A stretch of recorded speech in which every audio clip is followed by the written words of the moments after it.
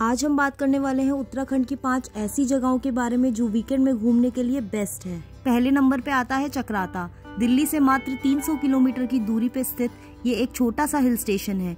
यहाँ आप tiger waterfall जा सकते हैं और ये भारत का हाईएस्ट डायरेक्ट वाटरफॉल भी है। और इसके बाद आप चिरमिरी टॉप जा सकते हैं, जो कि सनसेट व्यूज़ के लिए परफेक्ट स्पॉट। नंबर दो पे आता है ओली। ये दिल्ली से अराउंड 480 किलोमीटर की दूरी पे है। ओली की सबसे फ़ेमस जगह है चिनाब लेक जहाँ तक आप रोपवे से जा सकते हैं और इसका एक छोटा सा ट्रैक भी है, जिसके थ्रू आप लेक तक पहुँच सकते हैं। यहाँ से आपको नंदा देवी पीक हाथीघोड़ा पीक और पालकी पीक नज़र आएँगी। नंबर तीन पे आता है मुक्तेश्वर।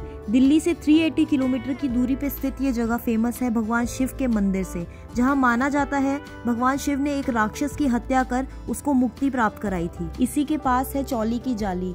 ये मुक्तेश्वर टेंपल से करीब 250 मीटर के डिस्टेंस पे है, जिसके लिए आपको एक छोटा सा ट्रैक करना पड़ता है। और यहाँ से आप एडवेंचर एक्टिविटीज़ जैसे जिप लाइनिंग और रॉक क्लाइंबिंग भी कर सकते हैं। इसके अलावा यहाँ भालूगढ़ वाटरफॉल है, जिसके लिए आपको दो किलोमीटर की ट्रैक करके जंगल से होकर जाना पड़ता है। नंबर चार पे आता है ऊखीमठ ये दिल्ली से 400 किलोमीटर की दूरी पे है और इस स्थान पर बाबा केदारनाथ को सर्दियों में लाया जाता है। तो अगर आप बाबा केदार के दर्शन करना चाहते हैं एकांत में तो ये सबसे उचित जगह है। और इस जगह से आपको केदारनाथ और नीलकंठ पीक भी देखने को मिल जाएगी।